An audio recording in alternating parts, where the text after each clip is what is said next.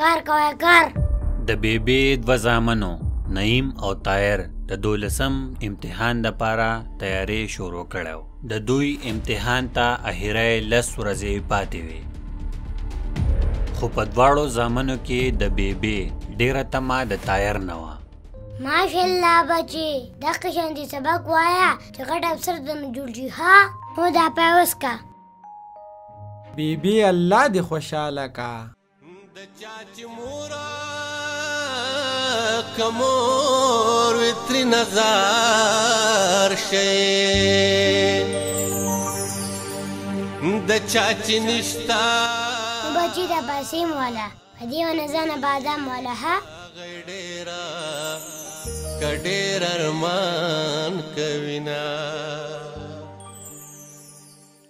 رواني شاته دی رواني شاته رواني شاته ولې ولې ولې او نعیم هم د چانه کم نه دی په تیر درې امتحانونو کې د پیل کېدو هډریک کړی دی او دا ځل هم داسې ښکاري چې سپر پچاس کېږي نه نعیم غریب پاس کېږي نه او ستا وجه الله مشي زویه سبا د دوی لومبۍ پارچه ده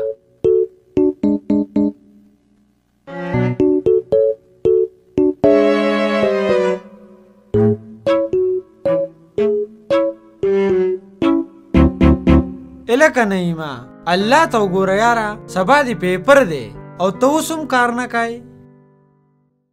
او چې شپه یې تر مینځ ځی نو د هغې بلا مه یریږه ډېر ټیم دی لا مړه بېغمه شه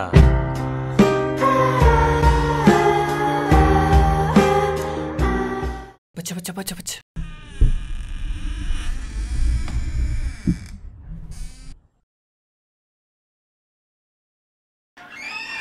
ماشاءالله ماشاءالله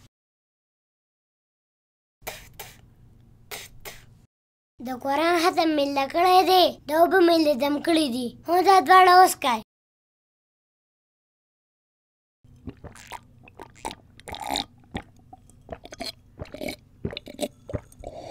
هو والا وسکه نو زه په دې کې څه وسکم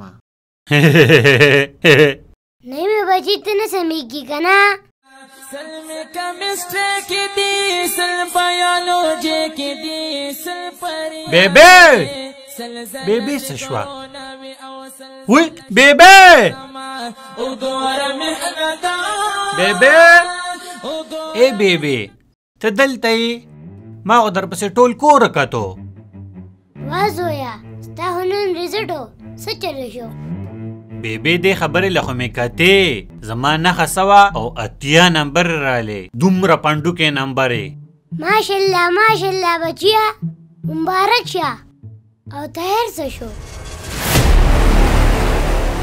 بی بی هغه نمبر کمی اغستې دي تا د یاري کور ته نشي راتلې بار ناسته ما شپه او ورځ مهنت کړی دی زما سره دومره زیاتی ولې وشو زما نه خو د بی بی ډیره تمه وه اوس به هغې ته څنګه مخامخ کېږم؟ زما ژوند خو تباه برباد شو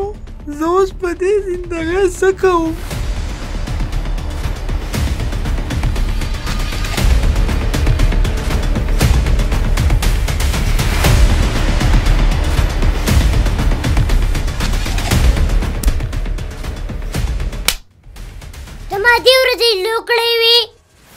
دا هو تر کمزورو خلکو کار کوي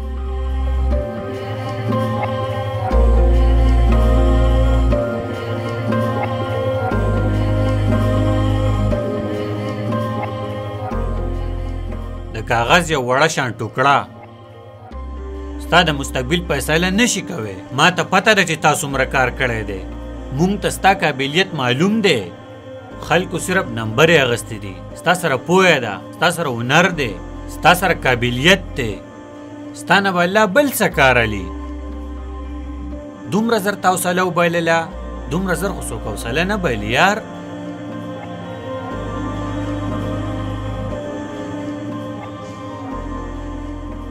बीबी माँ बाप का मुसलमान जिसको एक बीमारी कभी नहीं हो सकती थी सबसे ज्यादा गोली बिक्री है जैनेक्स की पाकिस्तान में डिप्रेशन मोमिन को कैसे डिप्रेशन हो सकता है अल्लाह वाले को कैसे डिप्रेशन हो सकता है चीटिंग करके किसी का हक मार के किसी को नीचे लगा के जिग जैगिंग करके अगर मैं निकल जाऊंगा तो तुक्के महज इतफाक फ्लूक्स और कोइंसिडेंसेस और इस तरह के दो नंबर रस्ते बेटा कुछ अरसा तो चल सकते हैं दुनिया के उस स्टेज के ऊपर जब मुकाबला होगा ना किसी सही वाले पट्टे के साथ आप नहीं लड़ सकेंगे आप नहीं उससे जीत सकेंगे इसलिए ये वक्त होता है ये लम्हात होते हैं ये लहजात होते हैं इंसान अपने आप को तैयार करता है